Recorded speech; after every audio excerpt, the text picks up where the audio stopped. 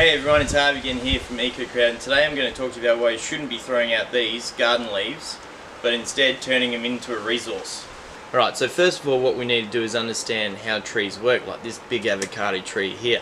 As it gets taller and taller each year, the roots are spreading out into the ground and as they spread out they're collecting minerals from the ground to go up the trunk all the way up to the branches and then to the leaves. So the leaves here are packed full of minerals from deep below the ground.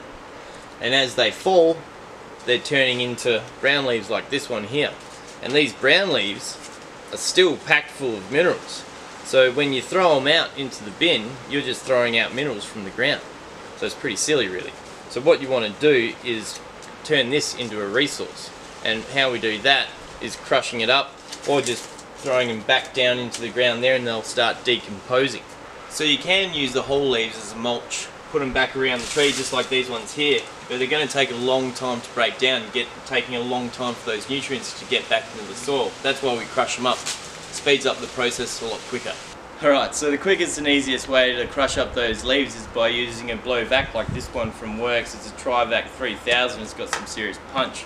So what you want to do is definitely use some earmuffs, turn her on and suck up those leaves.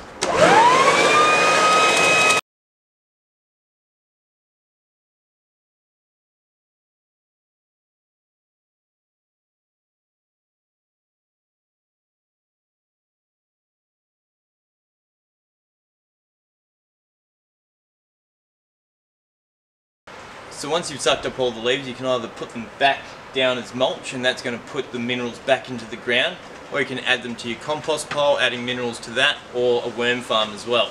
So just um, open up the bag and chuck them around, and that's going to be your mulch.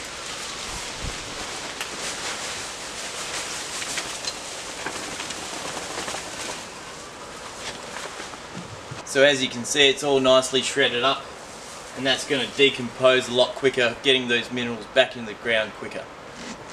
So just chuck them around.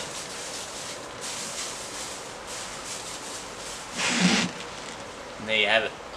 Alright, so I hope that helps. For more information, go to ecocrowd.com.au forward slash leaves. Alright, cheers. Have a good one.